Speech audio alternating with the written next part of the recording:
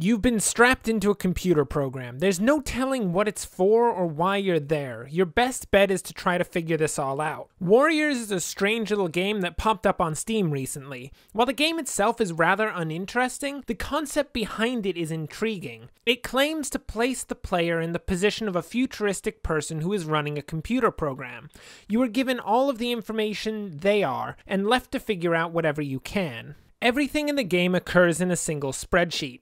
The player is given eight warrior robots of some sort with a few stats for each. It is then the player's job to have them battle it out. This is done through one of three controls the player can use. They can specifically have one robot fight another, they can cause a random battle to occur, or they can move forward in time. If this were all that there was to the game, then this would be a rather pitiful piece. There is really very little strategy to Warriors. However, the actual gameplay is a pretext to the bigger question of the game.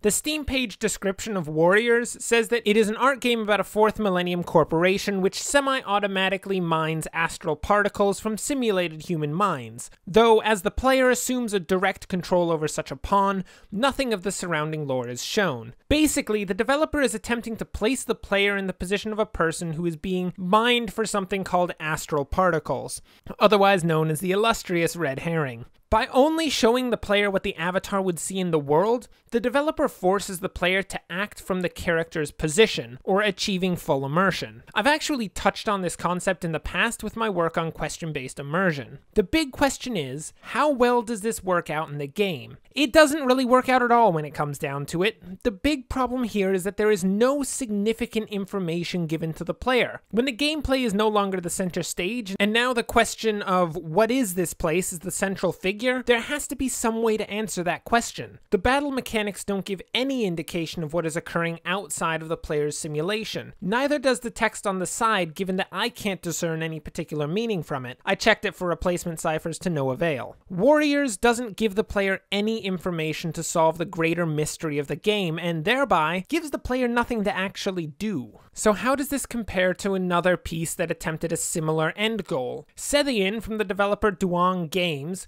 focuses on the player having to decipher an alien language in order to discover what really happened on the planet you are now on. Sethian places the player in the position of the main character in order to solve the puzzle, as I noted in my work on question-based immersion, and it works. The reason for this is that as the player solves the puzzle, they are given more information about what is going on around them. They actually solve something. In Warriors, nothing is solved. For one, this gives the player no reason to continue playing as two minutes of the game gives you all the flavor of the next three hours. On top of that, Warriors ends up not having anything to do with the original premise of the game, as written on the Steam page. Without giving any information regarding what is actually happening, the actual gameplay is just a spreadsheet. The backstory is almost non-existent in the piece itself. You are given a premise at the beginning and expected to believe it despite the fact that nothing in the actual game world ever points back to that premise. So in the end, Warriors leaves the player with no meaningful gameplay and no question that can be found through play. Overall, Warriors is a really interesting idea that failed to deliver on any front. It tries to place the player in the position of the main character so that they can live the avatar's experiences. However, none of the premise of the game as described on the Steam page can be found through play. Without meaningful gameplay or a larger question that the player can answer, there is nothing left for the player to do in the game.